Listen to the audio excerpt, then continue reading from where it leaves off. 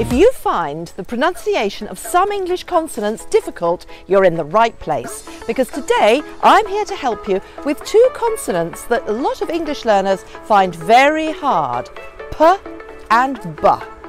Because mixing up these sounds can often cause a problem for non-native speakers of English. For example, would you rather go to a beach or to a peach? So, are you ready to improve your English speaking better and faster than you ever thought possible? I knew you would be. Let's go.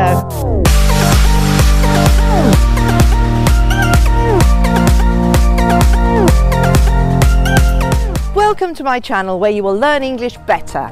I'm Deirdre Nicholas and for over 20 years I've helped thousands of learners all around the world improve their English and now it's your turn.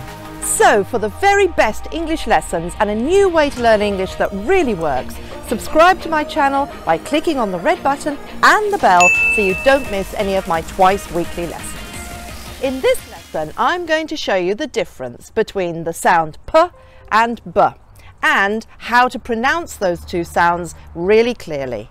I'm going to show you how to make those sounds in a word clearly and also in words in sentences clearly and fluently. So by the end of this lesson, we will have practiced those sounds in words and sentences a lot together. And at the end of this lesson, I'm going to give you a famous, really well-known tongue twister, English tongue twister, that is known and loved by English learners all around the world. Okay, now I want to start with two exercises that will help you to see the difference between the P and the B. Okay, so the first one is you take a piece of paper and if you're an English teacher, you can do this with your students as well and hold up the paper like this. You hold the paper up to your mouth and make the sound for p, like this. Just watch. P. What did you notice? The paper moved. It's moving in the wind anyway, slightly, but the paper moved. Again, because of the force of the breath behind the lips in when I make the sound p. Now I'm going to make the sound b. See if you notice any difference in that. B. Did the paper move? B. Not at all. And that is how you will know whether you have pronounced the p and the b correctly. With the p, the paper moves. With the b, it shouldn't. And if it does, you need to practice it more. Now the second little exercise to do is hold your hand right up against your throat like this, just lightly, and say the letter P, the sound P, and then say B. Now what you should find is that because the B you're bringing in your vocal cords to play, you actually get vibration down here when you say the letter B. So P, nothing. B, vibration. So let's look more closely at the P sound, the P. Okay, so let's get ready to make the sound. We close our lips lightly like this and then you can feel the air coming towards the lips um, so that you're just about ready to push the air out when you make the sound of the P. So P, like that. You can feel the force behind your lips. P. And that causes the lips to pop open. And of course, that's what causes the air on the piece of paper. And in fact, it's easy to remember the P because it sounds like a pop. So practice this until you get the sound of, this, of the air popping out of your mouth like that. So here's some words to practice the sound p. Okay.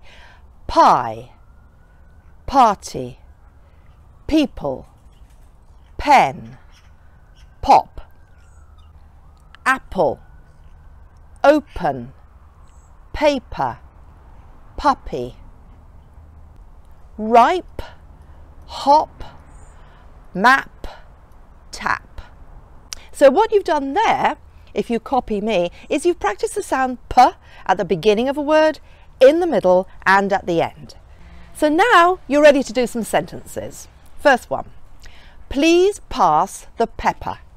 Please pass the pepper. Number two, don't open the soap in the supermarket.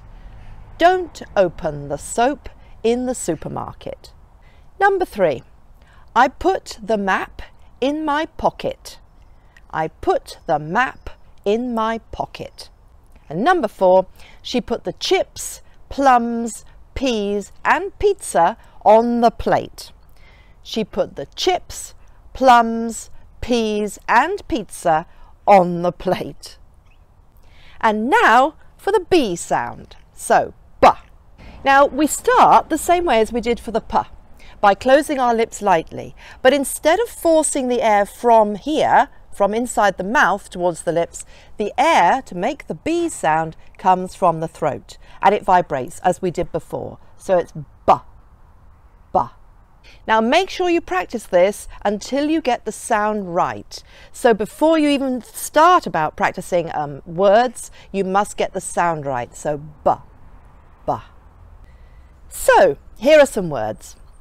Back, by, baby, boat, biscuit. Above, rubbish, maybe. Club, web, job, crab. So again, we've practiced the b sound at the beginning, in the middle, and at the end of each word. So now for some sentences. The baby bounced the ball. The baby bounced the ball. The book was beautiful. The book was beautiful. The boy had a job aboard a boat. The boy had a job aboard the boat. They ate baked beans, biscuits, bananas and crab. They ate baked beans, biscuits, bananas and crab. And here is the English tongue twister. Are you ready? Peter Piper picked a peck of pickled pepper. If Peter Piper picked a peck of pickled pepper, how many peppers did Peter Piper pick? And how about speeding it up, just for fun? Peter Piper picked a peck of pickled pepper. If Peter Piper picked a peck, pe ah, you see? If Peter Piper picked a peck of pickled peppers, how many peppers did Peter Piper pick? So answers to the tongue twister question, I can't say tongue twister now, answers to the tongue twister question, how many pickled peppers did Peter Piper pick in the notes below? Thank you.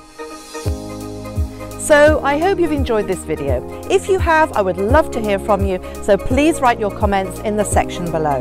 Don't forget, I post two lessons a week, one on a Tuesday and one on a Friday. So subscribe by clicking on the red button and the bell so you don't miss any of my future lessons. So enjoy your English and I'll see you really soon. Bye!